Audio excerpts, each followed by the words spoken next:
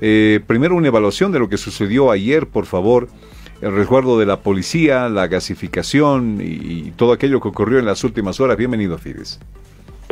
Gracias, estimado John. Un saludo a todos los que están escuchando el programa. Pero primero, antes de la evaluación, quiero hacer una aclaración, compañero John. No es mercado paralelo, este es el mercado legal de los productores de coca departamental. Con relación a la pregunta de la evaluación, evidentemente hemos visto, eh, creo que siendo realistas, ya es la tercera semana consecutiva que van convocando al 100% y la base no está respondiendo porque sabe que solamente esta convocatoria es por intereses económicos, políticos y no así una reivindicación cocalera, porque los cocaleros han vendido hasta en la calle, John, frente a sol, frente a lluvia, han aguantado por diferentes motivos y hoy por hoy pues tenemos la dicha y la dignidad de vender en ambientes cómodos, tal como nos, nos merecemos los productores de la coca, ¿no? Ha habido una reunión de emergencia esta mañana, señor Alanes, y han sacado el siguiente petitorio desde Adecoca. Primero, el cierre definitivo. Leo las, peticiones, cierre definitivo del puesto de venta de coca ilegal ubicado en la calle 1 de Villa el Carmen, ex colegio andino. Segundo, erradicación del cultivo de la hoja de coca en zonas no autorizadas como ser parques nacionales y otros. Tercero, exigir al gobierno la anulación de la resolución administrativa que obliga a la comercialización de la hoja de coca con salidas grupales. Cuarto, informe detallado y justificado sobre la aplicación de fondos de aportes de 70 bolivianos de Ticoín, exigir la liberación inmediata de productores de coca que son detenidos injustamente y la destitución, atención, del ministro de Desarrollo Rural y Tierra, Remy Rubén González Atila, por incumplimiento de funciones según las leyes y normas en vigencia. Ahí están las firmas que le muestra Fides en el streaming hoy de los principales dirigentes de Alcocas. Señor Adames. Falta que pidan las denuncias de Luis Arce Catacora. Yo veo un pliego muy vacío, sin fundamento alguno, fuera de lugar, por supuesto. Ese pliego, si usted hace un análisis, no tiene ningún beneficio social colectivo para todo los productores de los yungas de La Paz, quienes estamos buscando reactivar la economía, mejorar el precio de, de, la coca y eso va a generar beneficio para todos los productores de la coca.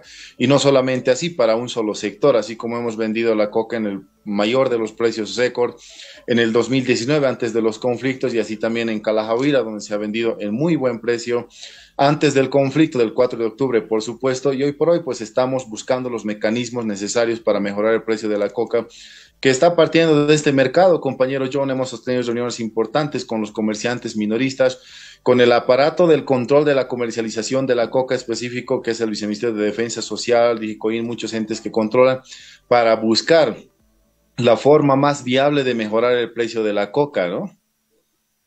Sería una mejora del precio de la coca. ¿Cuánto debería costar la coca? A lo que vivimos de acuerdo a la canasta familiar, a los precios eh, actuales de ahora, yo considero que la coca debería costar, bueno, la coca tiene precios, diferentes precios, ¿no? De diferentes calidades, que es la hoja grande, la mediana y la menuda.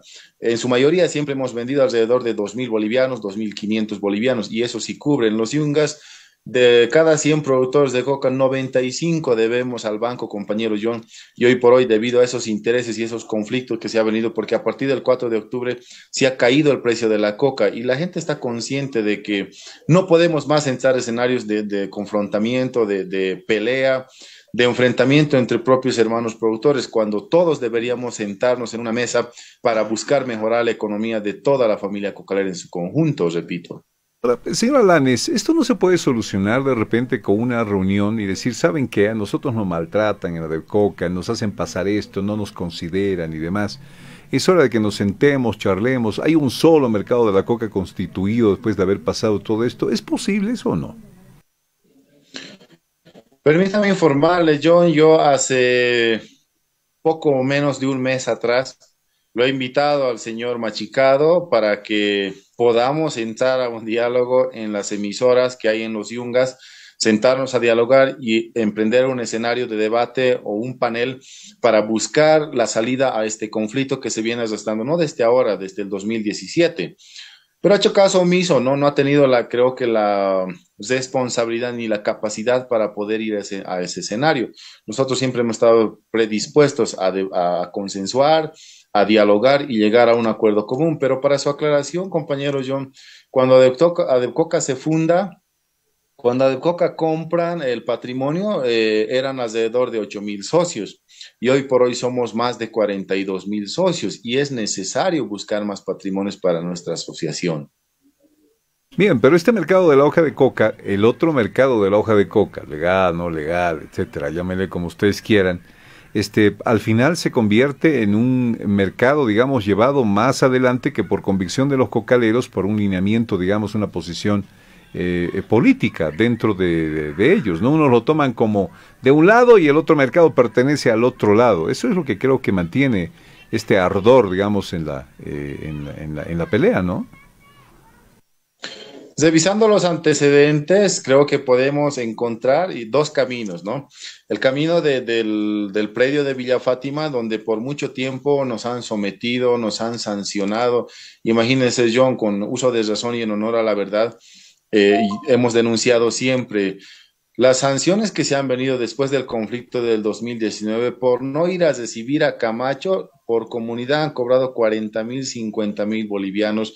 Y de ahí nace un resentimiento de la base de buscar un escenario o una casa después de que hemos vendido incluso en la calle, como le digo, un escenario, una casa digno para garantizar comodidad. señor Aranes, perdón, perdón. ¿Dónde, ¿Dónde fue el quiebre con el mercado este, el, el, de Adepcoca? ¿Fue el quiebre por no ir a recibir a Camacho? ¿Cómo fue eso? A ver, cuénteme una vez más, te pido. Claro que sí. En Villa Fátima, usted sabe que en los conflictos del 2019 estábamos eh, comercializando la coca en la calle 10 de Villa El Carmen. A partir de ello, cuando han venido a saquear y han robado más de 2.000 taquis de ese mercado, pues se vino a los conflictos, denunció el expresidente y a partir de ello comenzaron las, sanciones y extorsiones. Y como le digo, cuando había conflictos han recibido a Camacho y Camacho operaba desde, desde ese mercado de Villa Fátima. Y los que supuestamente no estaban en la lucha por no ir a recibir a Camacho, pues han sido sancionados con 50 mil, 40 mil. Y hay actas, hay recibos incluso de esas sanciones en su momento de Franklin Gutiérrez, ¿no? Qué cosa. Y es por esto que los renegados deciden abrir otro mercado.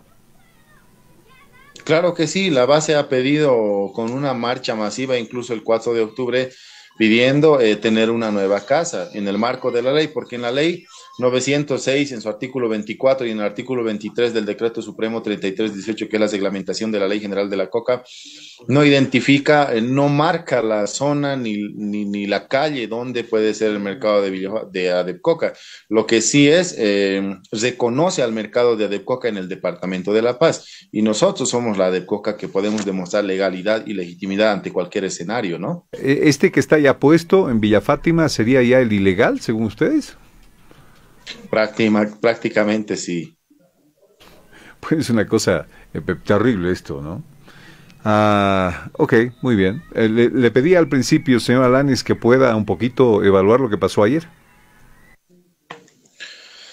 Yo la verdad, nosotros eh, hemos sostenido reunión esta mañana y por supuesto condenamos todo acto de violencia que vaya en desmedro en contra de la integridad física de nuestros propios hermanos productores de coca o que vaya en contra de, daños materiales de la vecindad, así como han causado desde el primer día que hemos llegado aquí.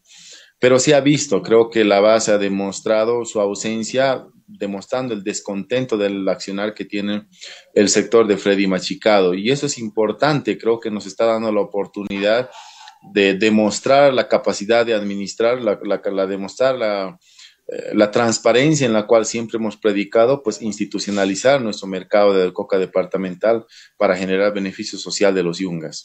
Bien. Gracias, Juan Alanes, por este tiempo. Le mando un abrazo, que las cosas siempre lleguen a buen puerto, buen entendimiento, siempre el diálogo por encima de todo, ¿no? Nos queda ese recuerdo del año 2019 ahí con nuestros hermanos cocaleros y no es nada agradable ver así a la, a la gente peleando especialmente. Señor Alanes, Ojalá pueda poner todo eh, de usted en el esfuerzo para sentarse en una mesa de diálogo y llevar adelante un gran mercado de la coca. Si quiere usted crecido, no hay ningún problema, pero uno donde una a todos los cocaleros, especialmente a los yungues. Le mandamos un abrazo, señor Alanes. Esperemos que sea así, no perdemos la fe y, y nosotros siempre estamos prestos a cualquier escenario de diálogo. Muchas gracias, John. Un abrazo, señor Alanes.